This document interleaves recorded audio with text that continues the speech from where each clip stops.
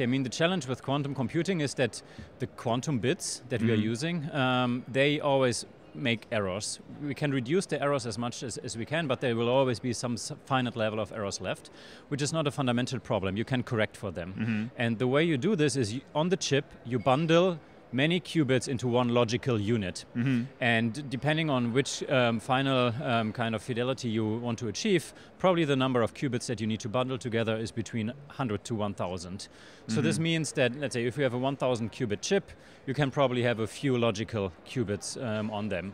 And if you want to have a few hundred logical qubits, then probably you need kind of tens to hundreds of thousands of physical qubits on the chip. And the point is actually um, how efficient you can run this error mm -hmm. correction. And there are many ways to do this out there, and we have actually developed a new approach, which is based on uh, low density parity checks, and with this we can reduce the overhead by a factor of 10 to 20. So we can actually build the same logical unit with around 10 to 20 times less physical mm -hmm. qubits mm -hmm. on a chip.